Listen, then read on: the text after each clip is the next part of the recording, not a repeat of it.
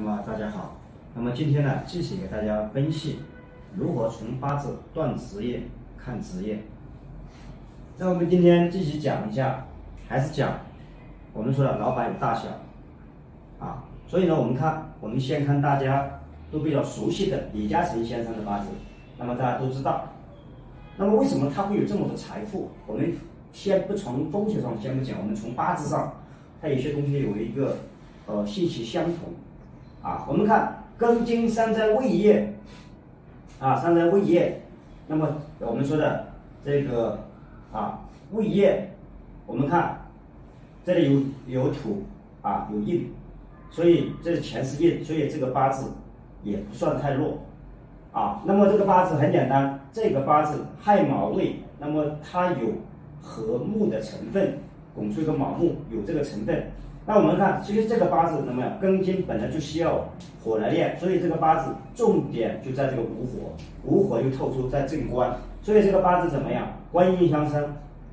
啊，所以这个八字官星是很旺的。为什么很旺呢？首先这里有午火有根，这里有个这里未土里面有乙木来生，又这里又有丁火，所以我们知道官印相生，啊，这个八字可能形容成是财官了。那大家都知道，那么很简单，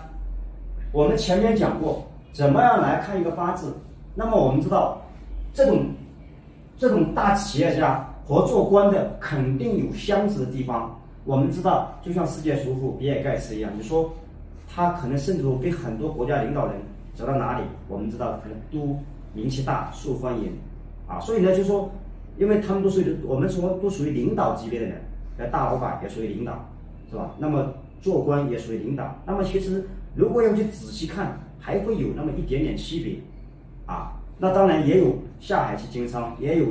啊像特朗普最后去做官，所以大家会发现他们都是领导，他们有相同之处，啊，他们在他们的八字在那个行业就是顶尖级的，啊，所以我们看，那么这个八字我们看，他这个正官不在年上，大家会发现凡是大领导伟人很多都是什么呀？正官七煞在年上。但是他正官在时上，这是第一个。啊，所以呢，这个你大家看，这个印对他来讲不是太好，他最好形容成是木火，所以印那么在年上，印又代表主上。啊，所以呢，可以说这个，所以他也是我们说的父亲从十十十父亲他在十四五岁的时候，他他爸爸就走掉了。啊，所以呢就靠自己自力更生，所以八字也可以看得出来。那么他的儿正官又代表儿子，儿子得力，所以他儿子继承他的班，两个儿子都比较有出息。所以当然今天我们就是通过这个客观去分析。所以呢，那么这个八字，所以官印相生，那么正官，我们说李嘉诚啊，做生意大正的大部分都是怎么样啊？就是做这这个比较，比如说刚开始塑料花呀、房地产啊、码头啊这种传统生意比较多，正官啊，正官。所以呢，这个那么这个人有印，各位大家知道，官又有印。前面讲过我那两个就是呃上一集讲的那个就是我的客户啊，开在深圳开公司的，他有官但是没有印啊，所以他呢身价几千万。所以呢，那我们知道李嘉诚先生他有官又有印啊，各位印代表什么？代表思想啊，我们是代表代表谋略，官印相生，那就非常的对吧？如果有官无印。那么压力就非常大，做的不稳，啊，所以我们说印什么？印思想，呃，那这个我们说谋略，啊，通过脑子去做事情，所以呢去用人，所以这个八字，啊，而且你看大家看甲戊庚储位天一贵人，正官丙丁亥酉又是制作天一贵人，啊，甲戊印也是甲戊庚储位，所以大家会发现天一贵人就非常的多，所以天一贵人我讲过是古人为什么把天一贵人。放在前面，包括天一二德，它是非常加分的，非常的贵气啊。那么大家看到像这种八字，大家看一看，你看他在晚年为什么还那么火？特我们知道，中国这十多年发展确实快，自从马云啊、阿里巴巴上市，那确实我们中国大陆的这些企业家确实在世界上地位高。但是大家想一想啊，在十几年前，大家去想一想，对吧？香港那那李嘉诚每一次排行榜都是华人首富，所以大家看看。他从六十三岁到八十三岁，大家看一路都是木火大印，如日中天呐，大家啊，所以这个八字就是要保护这个午火，午火是丁火的根，一定要保护它，它很重要。大家看到楚午相穿，对吧？楚午相穿，刚好走在列，他刚好我们说的五十八岁，九六年，刚好他五十八岁，那年是丙子年。大家看子午冲，啊，子午冲，啊，然后楚午相穿，这里面的根直接被冲了，啊，所以呢那年，呃，怎么样？官就代表代男人的官代表呃代表小孩代表代表代表孩子，所以大家看，所以他儿子九六年被绑架，所以八字也是有信息的啊，所以呢就是为什么说他的八字他为什么是企业家格局如此之大啊？所以呢其实他有很多信息会在里面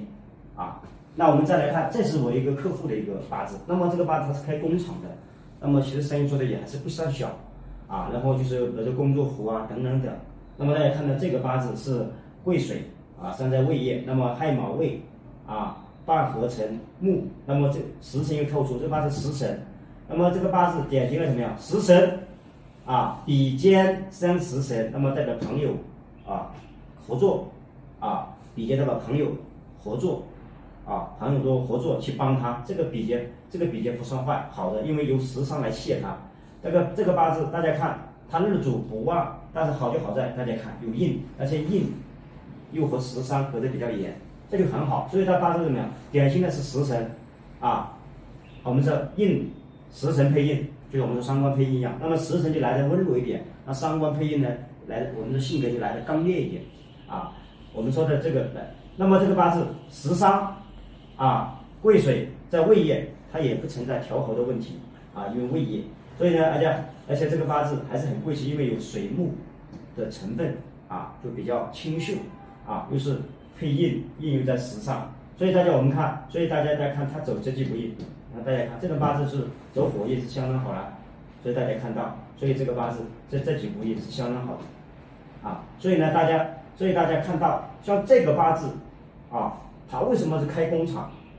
大家看到这个八字就是典型的食伤啊，食伤就是靠。啊，自己的能力靠自己的想法，啊，去开开工厂，啊，所以这个八字其实包括前面分析了很多八字，包括大家去分析很多名人呐、伟人呐，啊，包括你们身边的朋友啊、企业家，呃，开店的呀等等，你去分析，真的有很多规律，它的格局大小它不是乱来的，啊，所以呢，当然这是一个你的你的一个八字，其实生意在当地做的还是明显还是可以，啊，这个人也很讲诚讲讲诚信。啊，所以呢，这个呃，所以这就是一个开工厂的一个八字，所以那么这两个八字一讲完了，我相信大家呢心里都会很明白啊。希望大家多去总结，多去拿你身边的案例、熟悉的人多去分析啊。那么我们下一集啊，我们继续给大家分析看职业。